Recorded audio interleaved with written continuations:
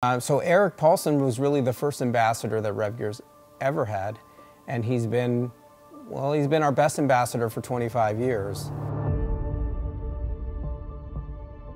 So over the years, Erik and I became great friends, and we always employed the same process when we went to develop products.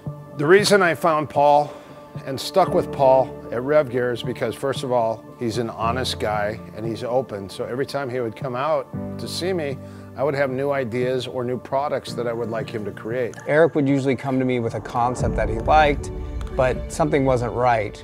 Uh, the quality wasn't right, it didn't fit right, um, or didn't have the right purpose. This Motion Master was created with a head on each end, which is based on the infinity emblem, and it allows you to do circles and go halfway or all the way around. This is a smaller version of the Motion Master, um, which is helpful for this video. So this bag is identical to the big bag, except it's just a smaller version.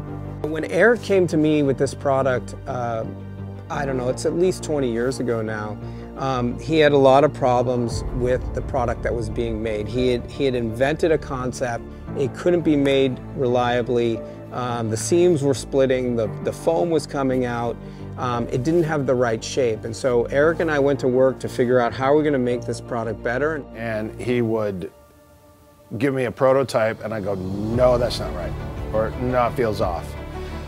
And what, what he would do is he would ask me how to fix it and make it better. And he would send it back and get it back. He goes, how about this? I go, oh, it's still a little off or a little tight or this is, and he would send it back until it was perfect. We always um, approached a product uh, with the direction that we were going to make, we were going to com probably combine some concepts that may have existed, uh, but also make the product so many times better.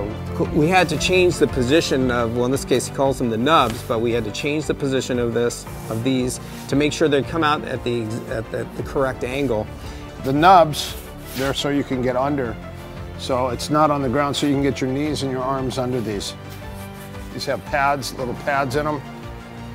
And a head on each end so you consistently are moving and hitting the whole time.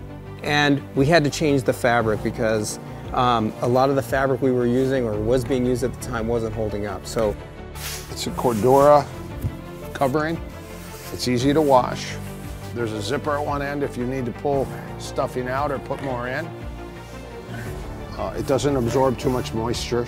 But the material in this bag makes this bag outstanding because it's extremely strong and resilient. Overall, just the product was uh, something that no one had ever seen before, it was different, and also had uh, a high level of quality. So I'm proud of this, I'm very proud of this product, but I'm most proud that it's got Erik's name on it and it has a Rev Gear label, and if you don't see this right here on the product you're getting, then you know it's not authentic.